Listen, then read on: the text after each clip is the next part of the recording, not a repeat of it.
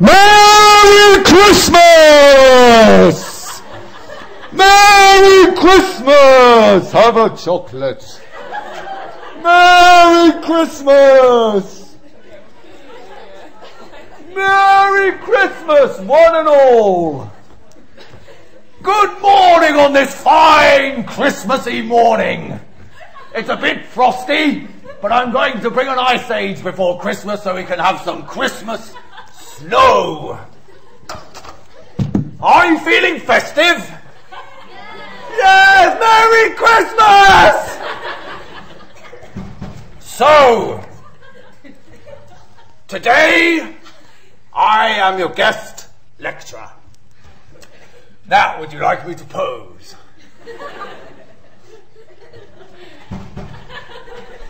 Today I'm your guest lecturer. Now, there's a good reason why I'm here.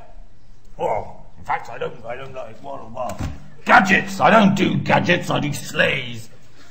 Where's this gadgety thingy, majiggy? What's it? I can't find it. Anyway, I don't like this. Santa. Santa. Merry Christmas!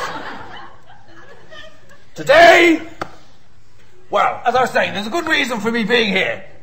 Now, I've heard along the grapevine because I have my little tendricles out all over the world trying to find out who's been a nice and Merry Christmas! A nice and a nasty, a nasty person. I have a nice list and I have a nasty list. Someone is top of my nasty list. Someone you know very, very well. Your lecturer.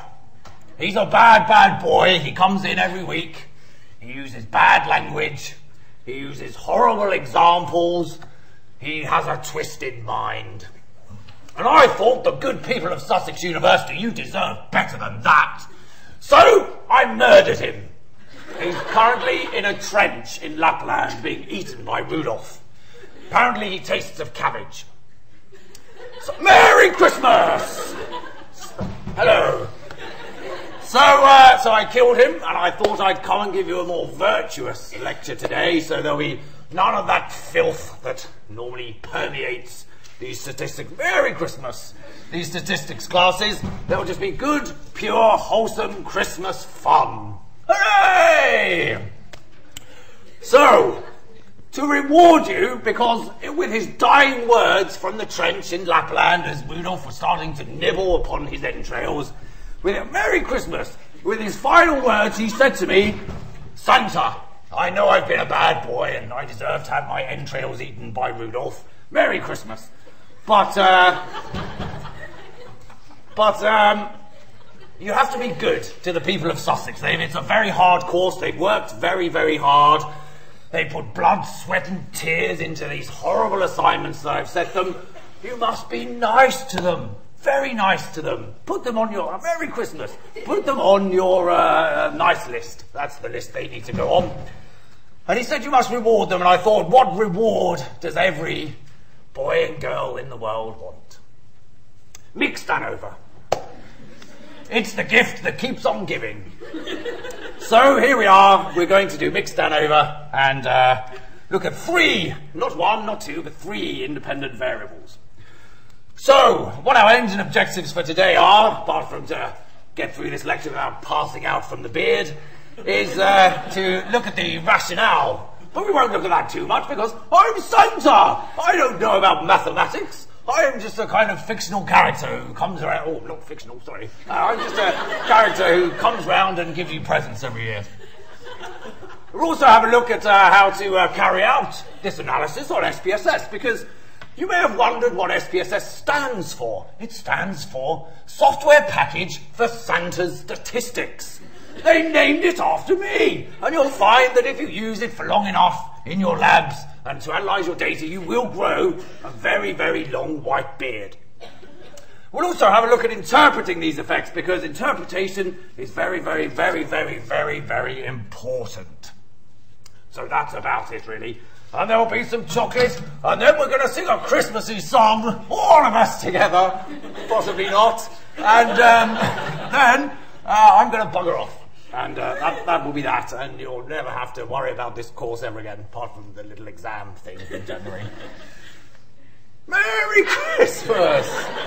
So, what is a three-way ANOVA? Well, when the other the other rancid person was here a, a, few weeks ago, he was talking about names of ANOVAs, and he would have said to you, at least I hope he would, although he probably would have put the word penis in there somewhere. That's all he thinks about. Uh, he, he talks to you about the names of ANOVAs. And uh, uh, he, he, described a one-way ANOVA, he's described a two-way ANOVA, and now we're going to have a look at a three-way ANOVA. Now, how many independent variables do you think there are in a three-way ANOVA? Three! I, oh my God, well, I can give chocolates to you all. I've got a big old tin. Who said three? People? Well. I'll believe you. Just take chocolate. it's a chocolatey kind of time of year. Chocolate, chocolate, chocolate. Plenty more where that came from. So, what is a three-way ANOVA? It's an ANOVA involving three independent variables. So that's nice, isn't it? Let's have some mood lighting. So, uh, three independent uh, variables. That's what the three-way means.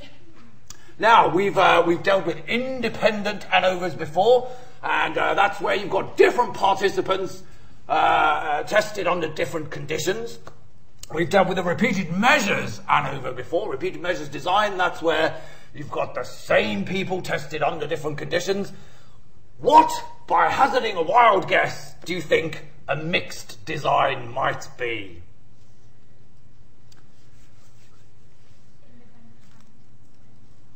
Sorry, independent and independent. Fantastic. Well done. Have a Christmas treat.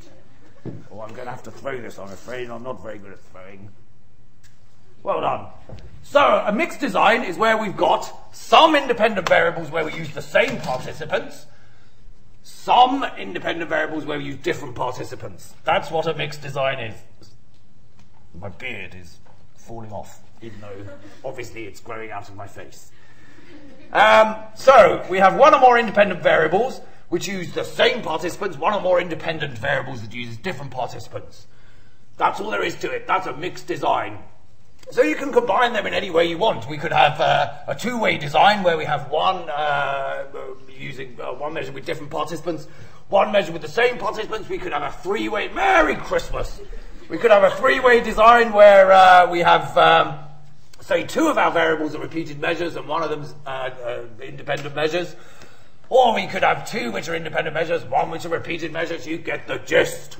Now, I'd also like to draw your attention to, because the thing about statistics is they always like to give different names to things, and sometimes you'll hear this design referred to as a mixed plot design. Now, that's because when Fisher invented it, Merry Christmas, invented it many, many years ago, he worked in an agricultural institute and he had a goat. The goat's not particularly relevant, but anyway. Um, and uh, he was uh, he was he devised ANOVA as a way to test whether certain crops would grow better in certain plots of land. So uh, he had this design which called mixed plot because he had different plots with different things growing in them. So sometimes you will see this called a mixed plot design, but don't worry, it's just the same thing. Ignore the word plot.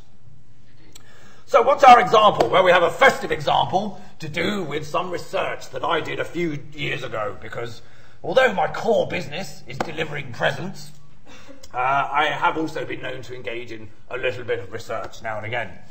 Now, one of the problems with being Santa is you have to deliver a lot of presents, and the world's population is expanding. My stomach's expanding, everything's expanding and I have problems keeping up. I've only got one night to deliver all the presents to all the boys, the girls, and sometimes their parents, or they get a bit upset that I haven't given them any presents. Um, so there's a lot of people to deliver to. And I just can't do it. I can't keep up with the, with the world expanding so rapidly. I just can't do it anymore. So, I decided a few years ago that I needed some help. Now, where I live in Lapland, there's two kinds of help that you can get elves and fairies. Very, very different kind of beasts are an elf and a fairy. You can find elves below the roots of trees. If you go around Lapland, you burrow deep into the roots of a tree, you will normally find a little family of elves. They're only about that big. Now, the good thing about elves is you can fit them in your pockets, and they're very industrious. But they are quite small. But small has its advantages because, you know, if, you, uh, if they have an uprising, join the elf union or something, and you don't like what they're doing, you can just stamp them out, quite literally. They splat like a gooseberry. Don't, don't do that, though. Unless there's an uprising, and that is perfectly acceptable behaviour. Now, uh, fairies, as I said, very different beast indeed. So fairies live at the top of trees. So if you want to find fairies, you shake the tree, and they fly out all around you. And then you catch them with a net and put them in a box. Now, the thing about fairies is they're good because they fly, so they don't weigh you down. You don't have to put them on the sleigh. They can just fly alongside, and uh, you know, they're, they're also quite industrious. So I thought, well, I'll enlist some help of some fairies and some elves, and maybe, maybe I can get all of my presents delivered. The trouble is, I needed to find out whether they would be affected by certain things. Now, when you deliver presents on Christmas Eve, some of the good people of the world are very, very, very generous, and they leave you maybe a little glass of sherry. I like sherry. Uh, or possibly a mince pie or some Christmas pudding. And the thing about mince pies and Christmas pudding and sherry is if you don't have the tolerance for it, it can rather slow you down. Fortunately, I've been delivering presents for thousands and thousands of years, and I've built up an enormous tolerance to alcohol, unbelievable tolerance to alcohol, uh, which is why I've got an enormous big red bollock for a nose. but I've also uh, developed, evolved, you might say, a four dimensional stomach. So I can eat vast quantities, vast quantities. I could eat all of you, and you would fit in my nice four dimensional stomach. No trouble, and I'd still have room for dessert. Of course, I wouldn't eat you because I'm Santa and I'm nice. But I could if I wanted to. There'd be room, make no mistake. So I've built up an enormous tolerance to these sorts of treats. But what about elves and fairies? They don't have thousands of years of experience. They're only small. It's entirely plausible. Merry Christmas! it's entirely plausible that they might be slowed down by treats. So this is what I wanted to research. So one Christmas I went out with my new elves and my new fairies to help me out. And we went and delivered some presents. And first of all, I split the groups. So I said to the fairies, you can only have mince pies, don't touch the sherry. And I said to the elves, you can only touch the sherry, don't touch the mince pies. Then the following year, I did it the other way round. I can't remember which way round I just said, but whatever it was, I did the opposite. So the ones that couldn't have the mince pies the first time round, they could they could now have the mince pies, and those that were banned from the sherry the first year, they could only have the sherry. So across the two years, nicely counterbalanced, because we all know that counterbalancing is a good idea, uh, we had uh, we had some people, some some elves and fairies that had had sherry, and some elves and fairies that had had mince pies, and all the elves and fairies across the two years had sherry and mince pies in one of the years. So that was a repeated measure. But I also I collected data over five houses. So this was the, the time it took to deliver presents in each house. So this is like a dose. So after the first delivery, they'd had, they had a glass of sherry or a mince pie. They delivered. I measured how long it took them to deliver. Then we went to the next house. They had a sherry. Then I measured how long it uh, took them to deliver, and so on and so forth. So again, it's a repeated measure. Five different doses. So after the, at the fifth household, they'd had five doses of either mince pie or sherry. Finally, I've obviously got my variable of whether they were an elf or a fairy, and that's a between group variable, an independent uh, design kind of manipulation, because you can't be an elf and a fairy, you can only be an elf or a fairy.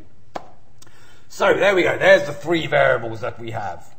And what I did was, as I said, measure the time it took them to deliver a present. I measured this in centiseconds. These are a special kind of seconds, they're not like normal seconds, they're very, very, very quick indeed. So, here are the data that we have.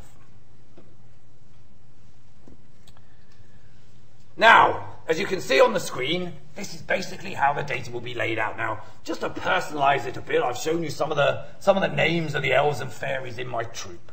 So uh, in the elves, we've got Huey, Lardy, Alki, Pongo, Bring It Up, Dio, and Chunder.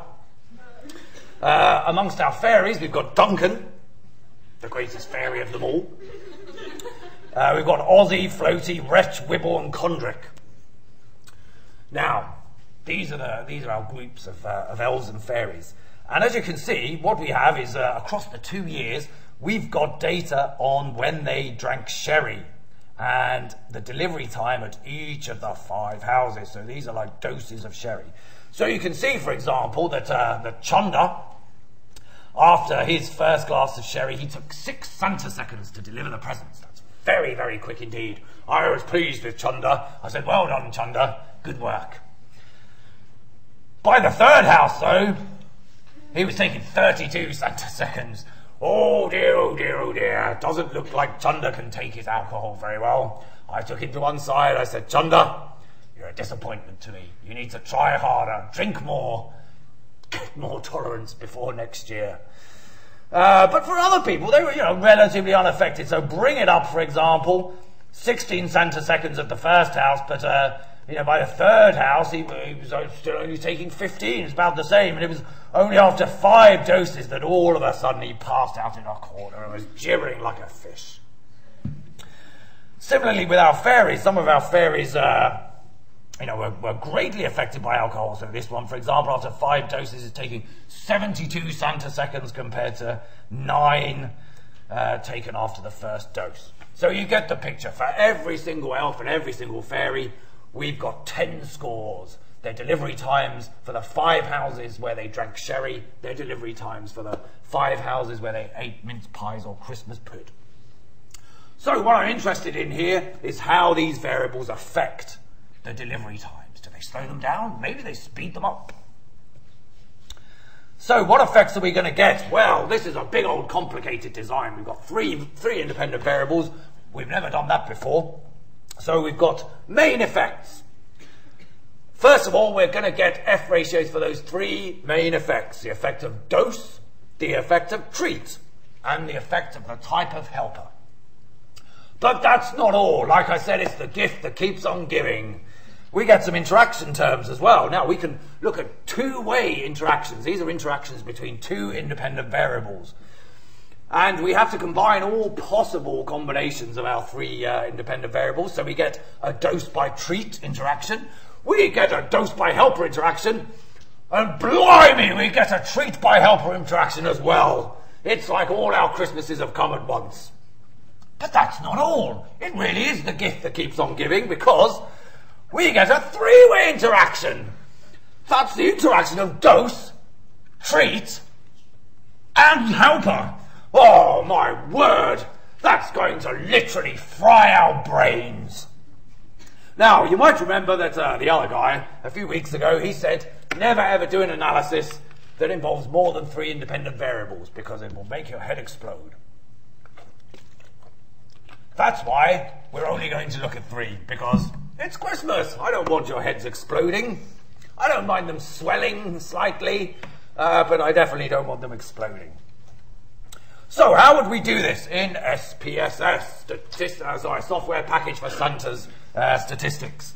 Well, we'd set it up just like we do repeated measures ANOVA. So all the stuff you were doing in your practical classes last week, it all kind of applies. So the first thing we need to do is set up our repeated measures variables. So who can remember, in exchange for a lovely piece of Christmas chocolate, uh, what our uh, repeated measures independent variables were? Tree and dose. Well done. Who said that? Oh, there you go.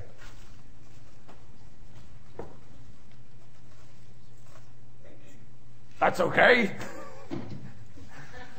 so we've got treat and dose. So we need to set up treat and dose. Now, how many levels were there for uh, treat? Two. Who said that? Someone around here.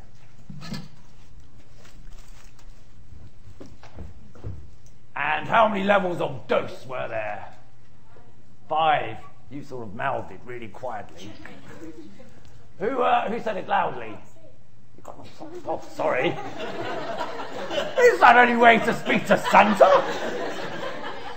When I, uh, when I come to your house on Christmas Eve, you're you going to look in my sack and say I can't see the present? What one should I pick? You'll get what you're given, young lady. Oh, you'll feel my naughtiness. Uh, who, who said it very loudly over there? Oh, man. That's a long journey. So we've got five levels of dose.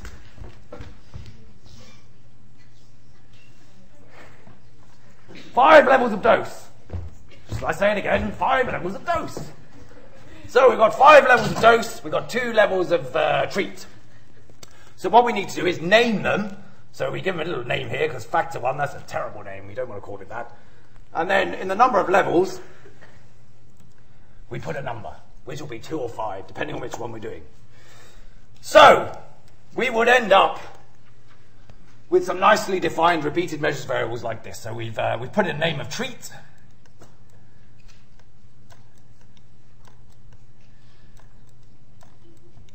And we put in two levels here, and then we've clicked on add. That puts it in. Then we do the same thing for dose.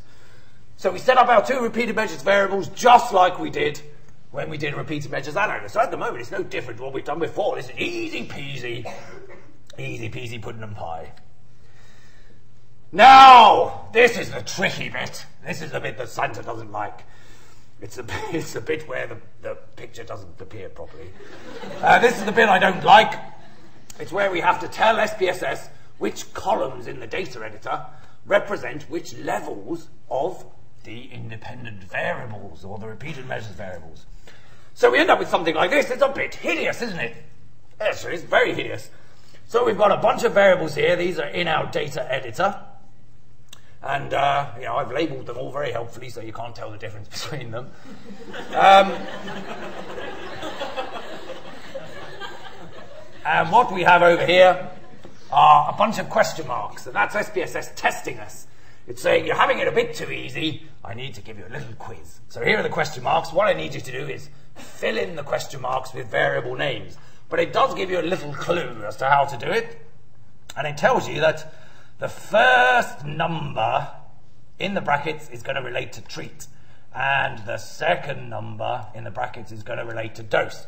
So for the first question mark, we want the variable that represents the first level of treat and the first level of dose.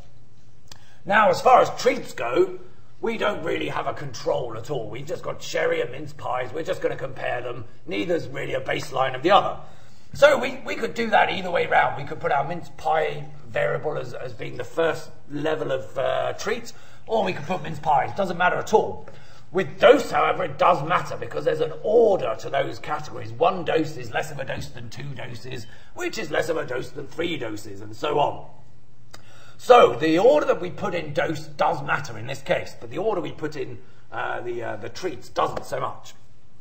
So what we're going to get is our first five question marks. We need to put in the variables that represent the five different doses in the correct order of uh, either sherry or mince pies. And then the second five, some of them even, even go out of the box. The second five, we're going to need to put in the five doses of the other treat. So whatever one we pick first, it'll just be the other one. Merry Christmas! Hello. So, for example, uh, this is how I've ended up setting up the data. So I did, uh, I did sherry as level one of treat, and then I did mince pies as level two. And you can see these represent our five doses. So I put them in the correct order. So it's important we get them in the correct order because the, uh, the order of the dose matters. Now, so far, this is just like doing a repeated measures ANOVA, which, as I said, you've done, you know, you've done last week. You'll be very familiar with and very happy and contented and snuggled up by the fire with. However, this is a mixed design. There's an added complication, but it's not that complicated, really. It's just a matter of taking our other independent variable, the one where we use different participants, so this will be our type of helper, and popping it in this box here. So the box for between subjects factors. So what we do is we grab this here and we pop it in there. So you can literally drag it in, if you like. You'll also notice there's a box for covariates. Now, if you really, really want to melt your brain, if you've got a covariate, you can specify it here as well. So you can do a, a mixed ANCOVA. Uh, that really is a very unpleasant experience if you want to do one. So we're not going to do one of those, we're just going to do a, a normal mixed ANOVA. So, that's the tricky bit in a nutshell. So uh, we've moved over our type of helper, that's our finished dialog box. That's all there is to it, really. But we could have a look at some other options as well. That might be a nice thing to do. So, for example, we could get SPSS to do one of its hideously rubbish interaction graphs, uh, which are know, not particularly helpful, but you know, some, sometimes you want to look at a pretty picture and you can't be bothered to do a proper graph. So you could do, uh, you could do one of these. So for example, we could have a look at dose along the horizontal axis. So we'd, uh, we'd drag dose up here and then we might use uh, treat as different colored lines. So we'd drag that into there and we might want to do a different plot for the elves and fairies. So we would drag our helper variable into there and then click on add. So we, we, that will be graphing the three-way interaction. You could also graph some of the two-way interactions if you wanted to. So, uh, you know, you could uh, drag helper into there and treat into there, and that would give you a two-way interaction graph. Like I said, these graphs are not very helpful, but uh, as a kind of quick look at what's going on, they can be useful. The other thing we might want to do is to get some means for all of our effects, because when we come to interpret it, we need to know what the means are in the different conditions. When you've got these kind of complicated designs, a very, very good way to get some means is to select all your variables here. So you can see I've, I've uh, highlighted them all and drag them over to display means for. And then what that will do is give you tables of the, the means that represent all of the effects. So you can see it's going to give us means for the, the three-way interaction or the two-way interactions. And if we scrolled up, you'd see you'll get it for the main effects as well. So that's quite a useful thing to do. If, for any of your main effects, you want to do post hoc tests, you can also, just like with any other repeated measures design, you can ask for a Bonferroni post hoc test by using this drop-down box here. Now, the other thing you might want to do, or you might not, I don't know, uh, is to um, select some homogeneity tests. Because, you know, Levene's test is fun. It's, it's, it's so much fun that you could hang it from your Christmas tree. So, that's about it. Now, what happens in terms of output? Well, the first thing we need to worry about is sphericity, which uh, you, you will have learnt about before. And uh, we can look at uh, sphericity, we can't say it, but we can look at it. We can look at sphericity uh, using Mauchly's test. Now, the first thing to note here is something quite strange has happened. It's like a, a Christmas mystery. But here, for the effect of treat, there's a blank. Where's it gone? Who's stolen it? It's like the thief of Christmas, stealing our significance value from out of our table and never returning it. Where's it gone? You might well think, well, SPSS, it's playing nastiness with me. It's fooling me. It's going, I don't want to do Mauchly's test. And you might well stare at your computer and say, do you know who I am, SPSS? I'm Santa! I demand a test of sphericity! Give it to me now! And SPSS might say to you, No, I won't give you a test of sphericity, Santa. You can bellow all you like with your big old belly and your big old nose, but I'm not doing it. I'm not playing ball. And you might say, Well, SPSS, why are you not playing ball? And I'll say, But Santa, surely you remember from your lecture last week that sphericity is all about the variance of the differences between conditions. And when you've only got two levels of an independent variable, you've only got one set of differences. You can only have one set of difference scores, the difference between those two conditions. So you only have one variance, the variance of that one set of differences. How can you compare variances when you only have one, Santa? How can you? And you say, Oh, Santa, you've been a silly boy. You've been a very silly boy expecting a Mauchly's test when there's only two levels of your independent variable. How could you forget? And then you might even notice that, that your Greenhouse Geisser estimate of sphericity is one. And what does one mean? It means there's perfect sphericity. Everything's fine. Oh, Santa, you're a silly, silly boy. So, Whenever you see a blank space like that in your Mauchly's table, don't panic. If you've only got two levels of your repeated measures variable, you won't get a Mauchly's test. And that's fine. Everything's good. The world won't explode. SPSS doesn't hate you. It's all good. However, for dose, we had five levels. Count them. One, two, three, four, five. Now, what that means is we do get a Mauchly's test. Oh, dearie me. So we need to interpret this. So we've got dose, and uh, here we've got a significance value. Is that significant? Yes, it is, because it's less than 0.05. And what does a significant Mauchly's test mean? Violated. Violated! Who said that? Well done. You violated the assumption of sphericity. And that's a very naughty thing to do. Now, what about our interaction term? We also have to test sphericity for that. And here it is here. And again, is that significant? Yes, yes because 0.006 is less than 0.05. So what does that mean? No, the opposite. The, assumption, the assumption's been violated again. Who said that? You're not going to admit it, are you? Have a chocolate, though, anyway. Oh, that looks that looks horrible. Have a fudge. Oh, sorry. So, significant Mauchly's means that the assumption has been violated.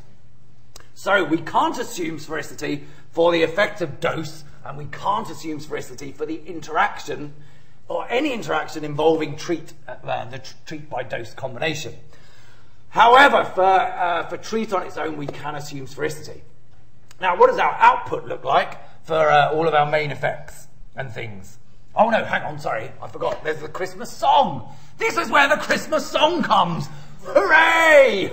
I'd forgotten about the Christmas song and now I'm filled with the joy of Christmas because I remember the Christmas song. Hooray! I'm going mad. Um, now, the thing about the Christmas song is it does have a little bit of a naughty word in it because obviously I didn't write it, uh, the other geezer did. And uh, he's from Essex, and his brain is full of filth. So, um, what I thought I'd do is I'd enlist some help. And uh, so, to sing the Christmas song, I have brought back the Pink Hippo. The Pink Hippo likes his little cameos on this course, and towards the end of the course, he doesn't get used very much. So, uh, I said to him, Well, could you help Santa out, Pink Hippo? And he said, Yeah, all right, geez. And uh, I said, Can you help Santa out and sing the Christmas song for him? Because basically, if Santa sings a song with a rude word in, you'll all be traumatized for the rest of your life. And he said, mixed my voices up there. He said, Yeah, no worries, geez, give it to me. I'll sing the song. I'm from Essex. I've got a brain of filth. I'm pink. I'm an hippo. Sorted. so here is I present to you for your delectation the Pink Hippo and his Christmas song. Cheers, geezer. Sphericity, sphericity, what a fucking pain. When I think of sphericity, it really melts my brain. That's why I have Mauchly's test to help me on my way. Because if it's not significant, then sphericity goes away.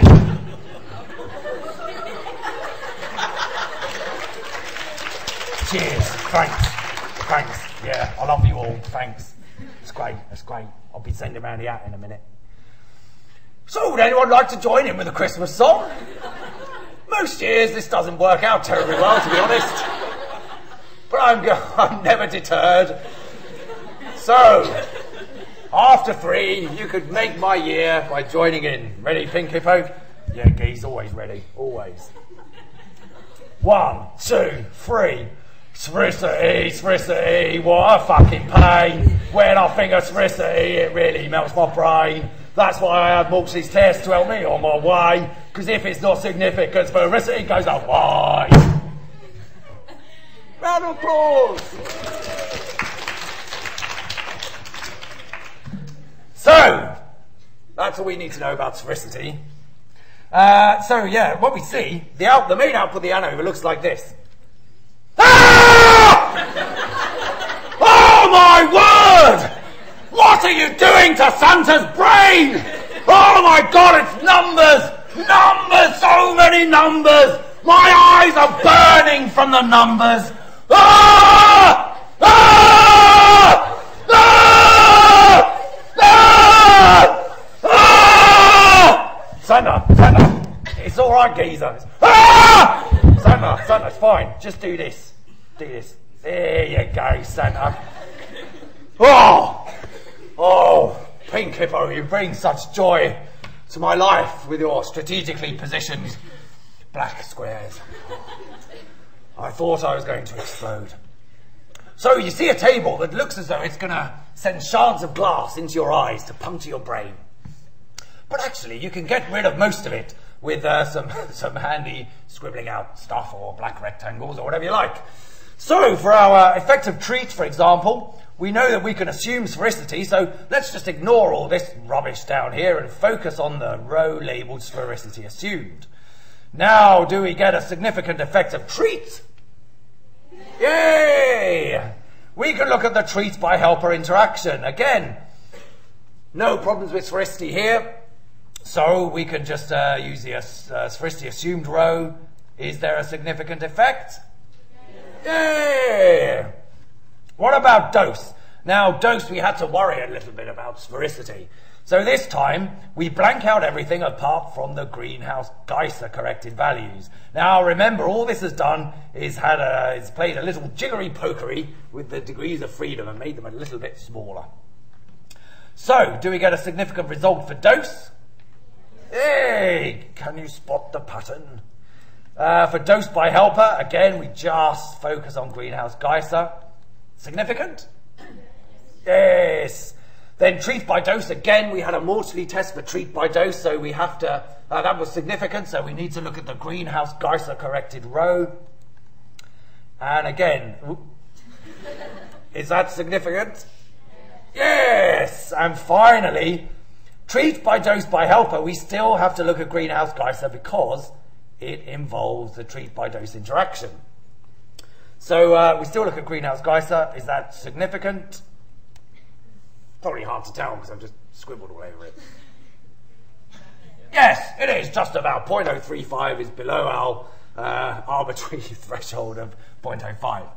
So we've got lots and lots of significant effects here to interpret. That's good. It's nothing like spending Christmas interpreting effects. But we've also, we've got a between group effect, remember. We've got an effect of the main effect of the type of helper. And that appears in a completely different table. Now, just to mentally prepare you for that table, what SPSS likes to do is to produce as many Levene's tests as it possibly can.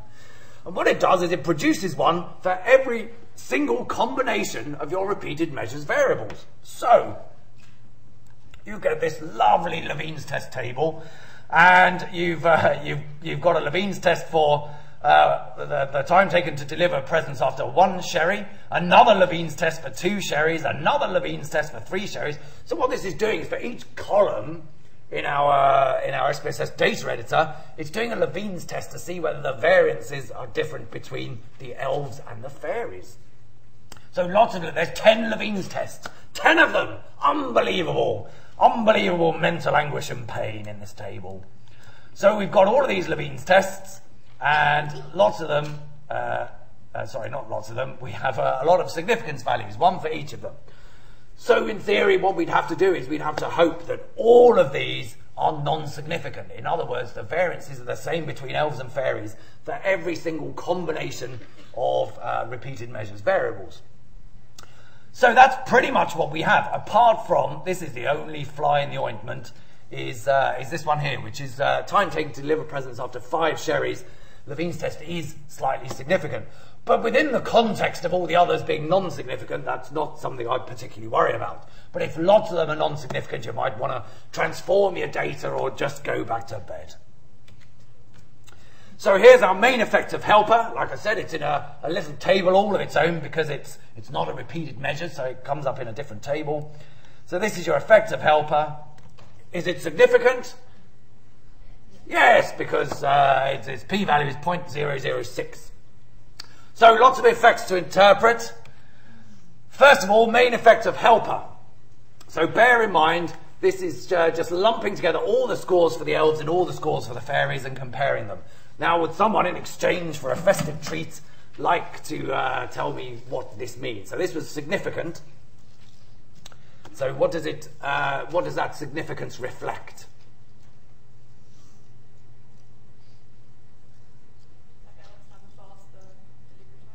Yes, fantastic. So the elves were faster to deliver overall when you lump all of their data together than the fairies.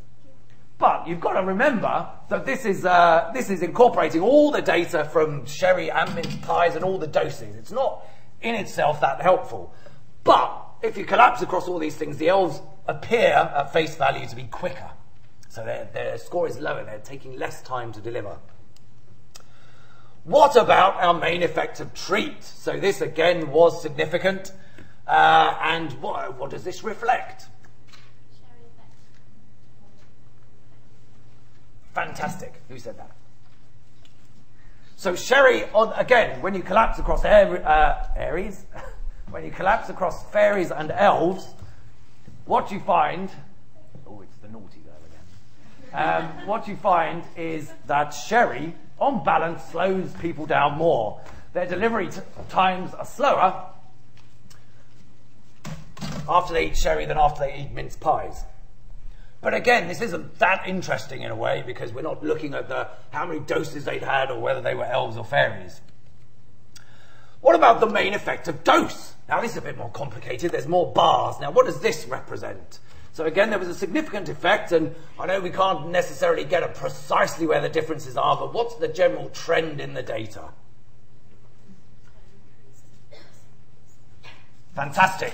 So the more doses, irrespective of uh, whether they were sherry or mince pies, because all that data has been lumped together, remember, what we find is as the dose increases, so does the, the, the delivery time. They get slower, they take longer. So the more doses they have, the longer they take to deliver. Okay, now they were the relatively straightforward ones. So anyone who's given an answer to those, you, did well to get in early because it gets more complicated now. So what about the treat by helper interaction? So these, this, uh, this graph shows the mean. So again, this was a significant effect. And what we're looking at here is not just uh, whether, whether the, the person was a person, whether the, uh, the uh, organism was an elf or a fairy. We're also looking at the type of treat they had. So whether they had sherry or whether they had mince pies. Could anyone give Santa uh, an interpretation of this graph?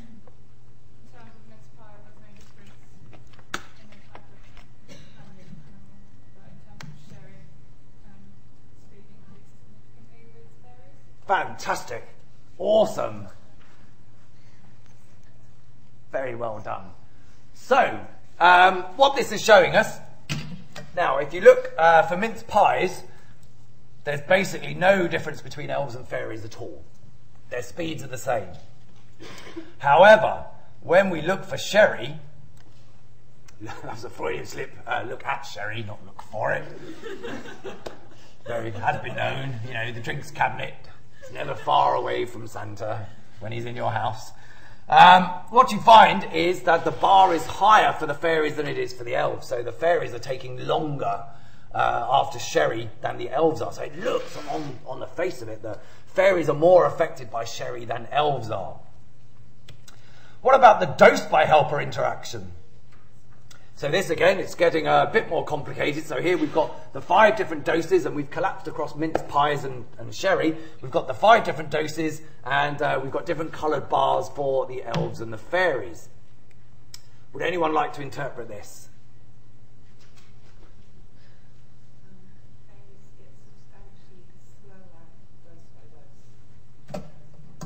Fantastic. Brilliant you have an allergy?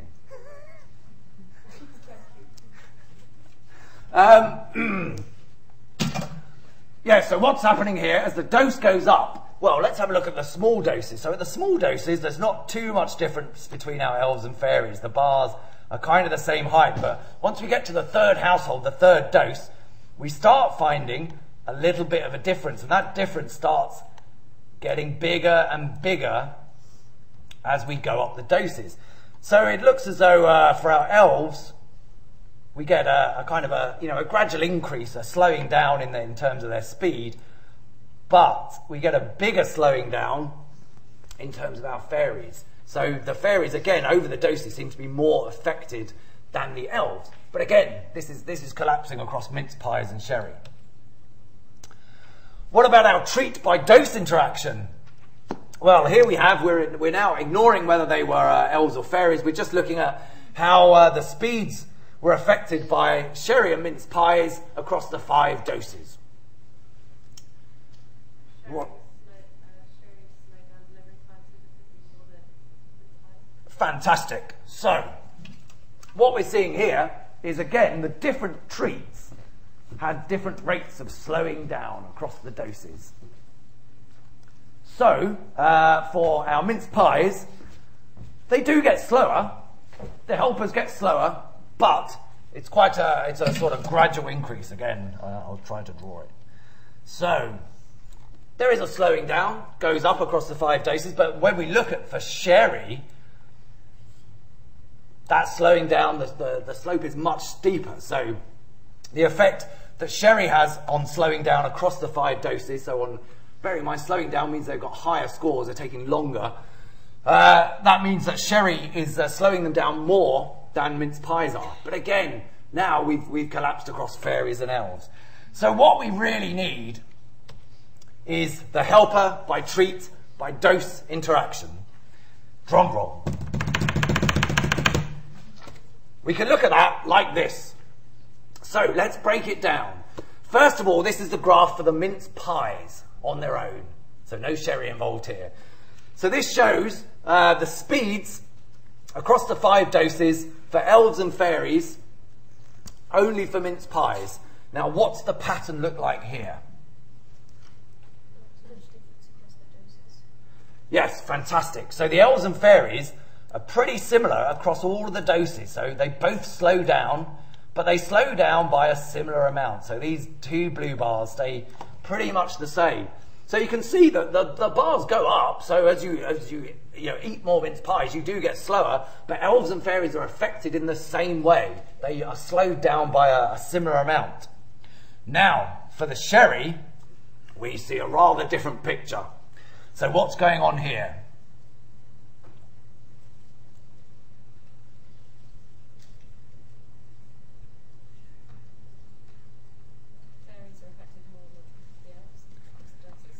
Yes, fantastic. So when it comes to sherry, when it comes to mince pies, the effect of dose on the two types of helpers is pretty similar. But when it comes to sherry, the two types of helpers are affected differently by uh, the, the doses that they've had.